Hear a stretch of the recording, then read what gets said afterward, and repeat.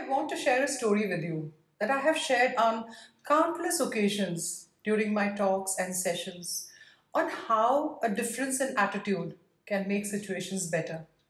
There was once a traveler who was walking from a village in the mountains to a village in the valley. As he walked along, he saw a monk working in the field. So he stopped and asked the monk, I'm on my way to the village in the valley. Can you tell me what it's like?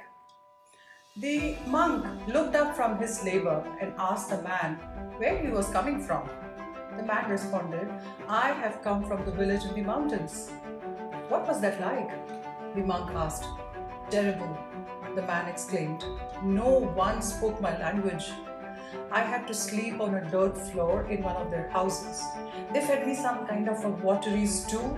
It was too cold out there. The monk said, Then I think that you will find that the village down in the valley is going to be the same.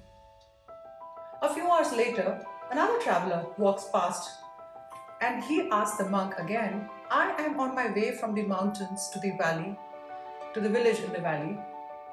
Can you tell me what it's like? The monk asked again the same question what he had asked the previous traveler. Where have you come from?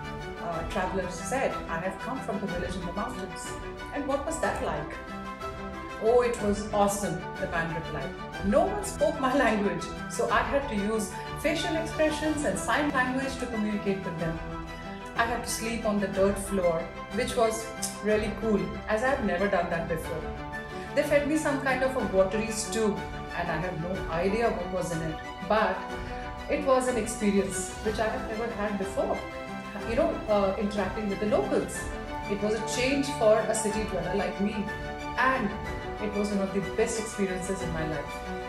The monk responded, Then I think that you will find that the village in the valley is much the same. So, what do you think the focal point of the story is? The situation was the same, but both the travelers completely responded in different ways. It's all about how we respond, right? We can keep complaining, or we can get to change our attitude. And I term that attitude as optimism.